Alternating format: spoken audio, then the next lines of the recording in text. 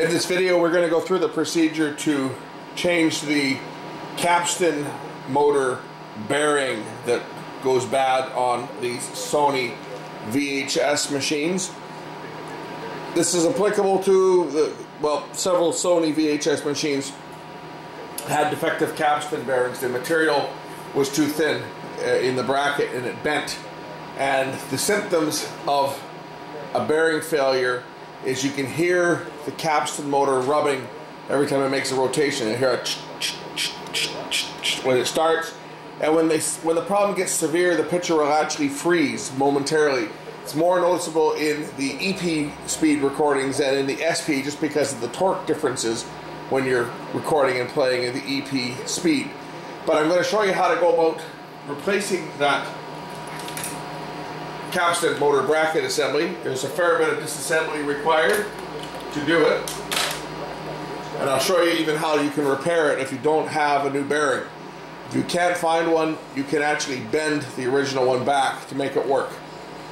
So first we to take the top off the machine.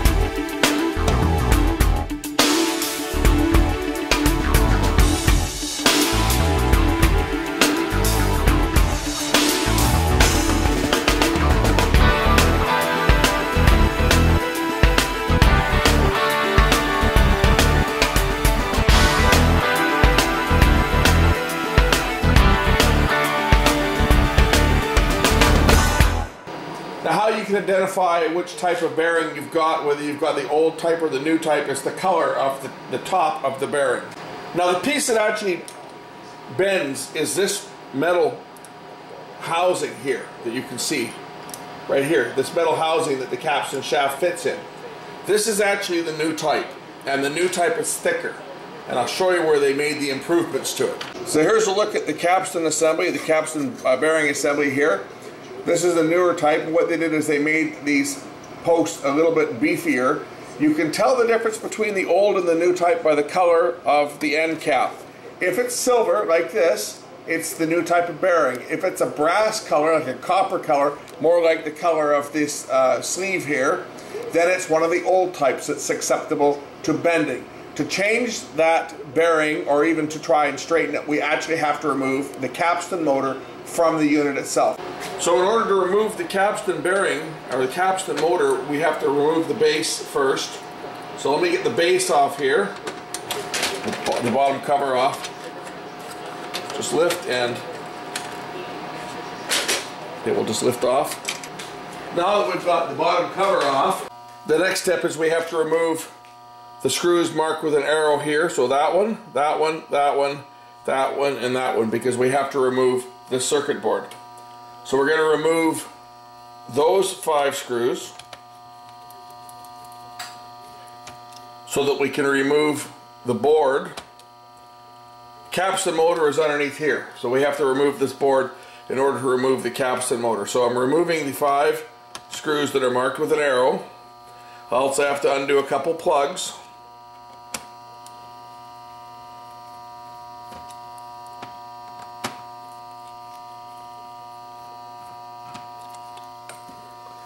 So we remove the five arrow mark screws, unplug the loading motor, unplug the drum motor over here,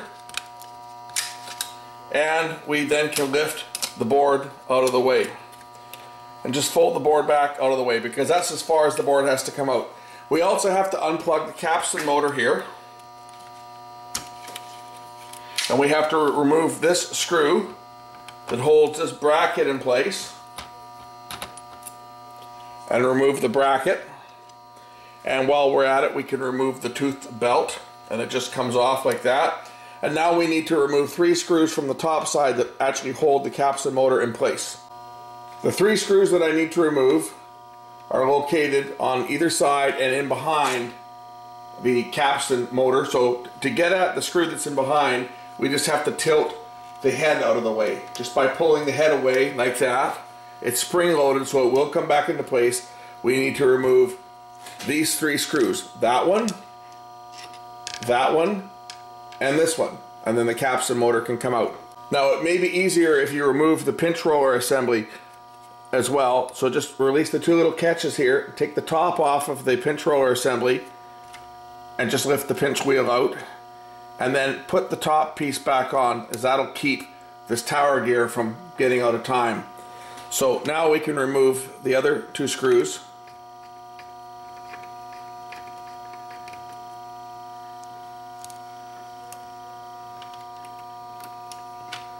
So back onto the, the base side again, we have to, before we can remove the motor, we actually have to remove this little brake lever out of the way. So we're just going to release the little catch right here. And this little lever will lift out of the way. Be careful not to lose the spring here. So we lift the lever out of the way. And now we can just lift the capstan motor assembly out. So now there's our capstan motor assembly. We need to change the bracket here. The bracket is held, is held in place with three more screws which go through from the other side. So now what we have to do is we actually have to separate the stator from the bracket. Now if you don't have a new bracket you may be able to straighten this uh, assembly out by slight bending. But I'm going to show you how to take the bracket apart. So now we just carefully, now this is a magnet so you got to keep it away from any screws. Do not place this on your bench next to the screws or near any iron filings or anything because it will stick to the rotor assembly and it will ruin it. There are two small little washers, one here and one up here. This is to keep oil inside the bearing itself. When you pull the, the assembly apart, these little plastic clips are going to move and they're going to stay with the caps capstan assembly. So just pull it down a bit so that then you can get your fingers in here and remove those clips and put them away or these washers and put them away for safekeeping because you will need to reinsert them. So once we've done that we can now remove the rest of the stator. This is the magnet here. We want to make sure that we don't place this anywhere where iron filings or screws or anything are going to stick to it. So just place it out of the way where it's not going to get damaged. On the capstan motor, sometimes when they when they they have worn, it will actually be rubbing against the actual coils here and you'll see the insulation has been rubbed off.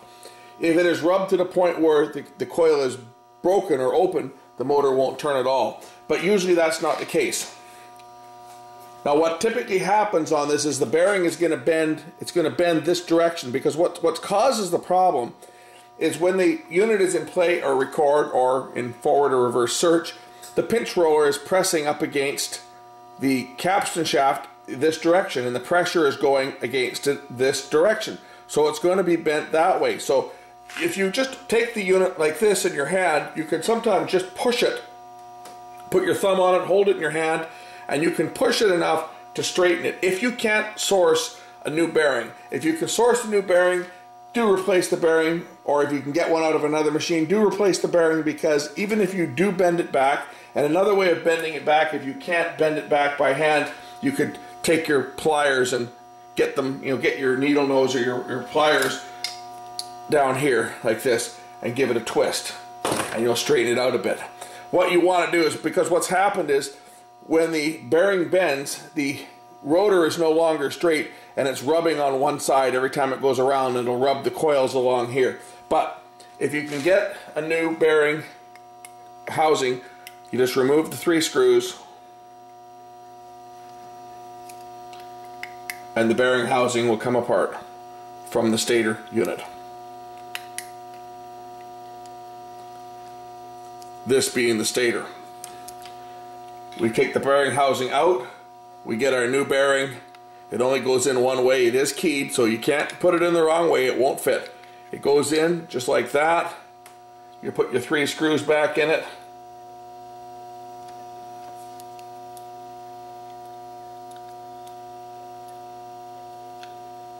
Of course, this is when having a magnetic screwdriver helps.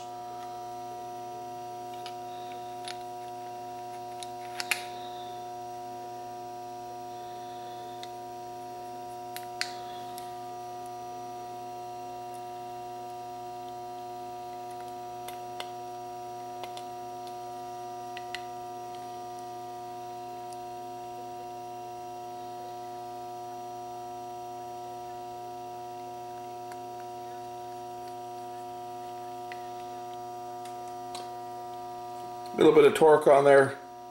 Make sure your screws are nice and snug. Don't tighten them too tight or you could strip the screws themselves. And now it's time to replace the rotor assembly. Now, other things to keep in mind on this is there is a little small capacitor here on this motor. These have been known to go bad and they'll cause speed irregularities or the motor just to not run or run at the wrong speed. They can go bad. Other things that can go bad on here is down here you've got your Hall effect sensors. There's one there, one there, and one there called H1, H2, and H3. What the Hall effect sensors do is they provide information as to the, the, the phase of the motor. It's a three-phase motor. So as the rotor rotates, the magnetic field from the stator, or the rotor, sorry, uh, influences these Hall effect devices and causes the wave shape to change from them, which is detected by the motor drive IC, which then steps the current from one coil to the next. That's how a, a DC motor is made into a three-phase AC motor. It's this chip here. These three will affect the motor's ability to turn. The FG pulse is here. The FG pulse, what it does is it reads the edge of the rotor, which has got a series of magnetic pulses encoded into this material. As you can see, here's the main magnet that is turned. This is where your torque comes from. This edge material, which kind of feels like it's made out of plastic, but it's actually plastic with a magnetic material in it, like almost like magnetic tape and it has a signal recorded on it. And as the motor rotates, that signal is picked up by this frequency generator uh, pickup and is sent to the IC. That's to control the, the speed of the motor, the frequency of the motor, whereas the phase of the motor is controlled by the Hall effect devices. Now we're going to put the motor back together, so it's always a, probably a good idea to put a, a, a drop of oil in here as well, but I usually do that when I'm getting closer to final assembly. Uh, I get the bearing in place, get the motor assembly back in place. I'm going to go back to my little, two little washers and put them back on here. The easiest way to get the washers in place is to just drop them in the top, stack them on top of each other in the top here, and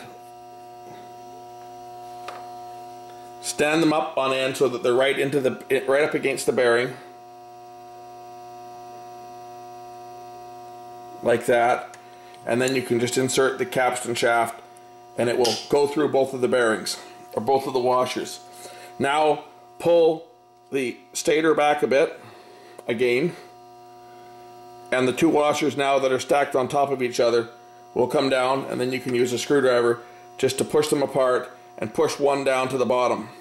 Let it slide back up, push the other one down to the bottom like that. Of course, this is the time when you would put your oil in you would open it up a bit, put a drop of oil. This one here, you can push this bearing up, this, this one up just a little bit higher because it's going to seat. Once it snaps into place, it's going to seat. You put a drop of oil on top of your capstan shaft here. You put another drop of oil down inside on your capstan shaft inside there. Let it snap together. Push your washers back in place to seat them That'll keep any oil from dripping down the capstan shaft. It'll keep it in the bearing where it belongs. And now we can go about and reassemble the unit. And we do it in the reverse uh, procedure from when we opened it up. So I'm going to drop the capstan motor in again. It only goes in one way, like that. And it'll just clip into place. There's little plastic clips that will hold it in place. There's a little plastic clip here. That'll hold it kind of centered. We can now go and put our, our brake back on and it just sits in place like that and snaps down. And then we can put our spring back around this post here. So let me get the spring back on here. I'm just going to grab my pliers. Or maybe my dental pick that might make it easier. My dental pick. And we'll put the spring back on. That'll hold the motor in place. We'll turn the unit back on its side so that I can replace the screws. So once again I just put my screws on my magnetic screwdriver and thread them in. Now these screws here have little lock washers on them, so don't get them mixed up. The ones that hold the, the stator or hold the bearing to the, the stator don't, but the ones that hold the motor into the chassis do. So here's our, our three screws going back in.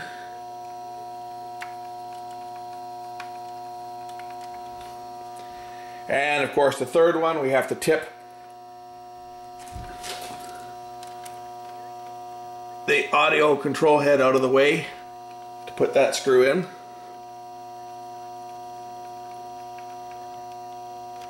Snug them in place.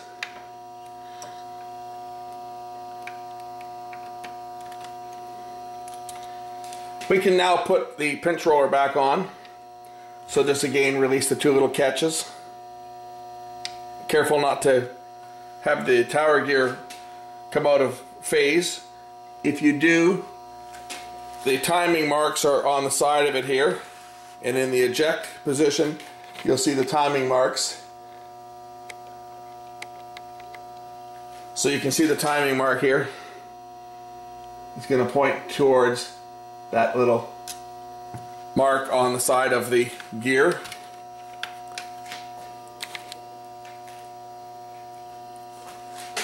So we just reinstall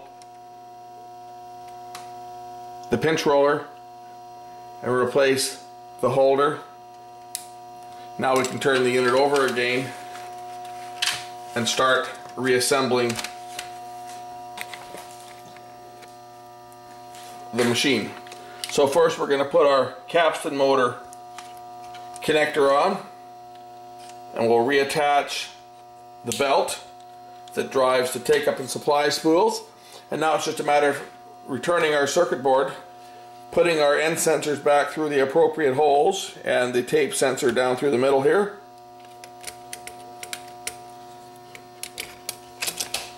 That'll drop into place. And then we just have to reconnect the loading motor and the drum motor connectors and replace the five screws that hold the board in place.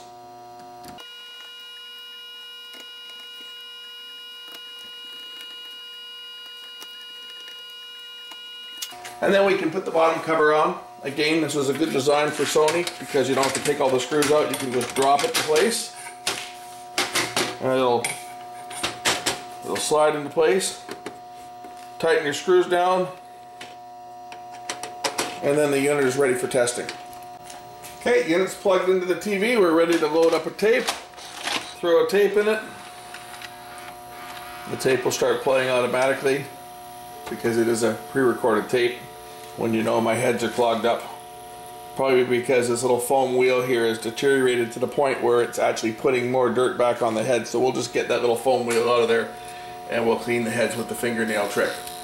Just by using the back of the fingernail up against the heads to remove the clog. There's my color bars playing back. The unit is back in operation. That's how you change the capstan bearing on a Sony VHS machine. We'll catch you in the next one. Did you catch it? Did you catch what I left off? No, I didn't leave the bracket off, but I did leave it off when I was filming to see how many of you guys would notice it.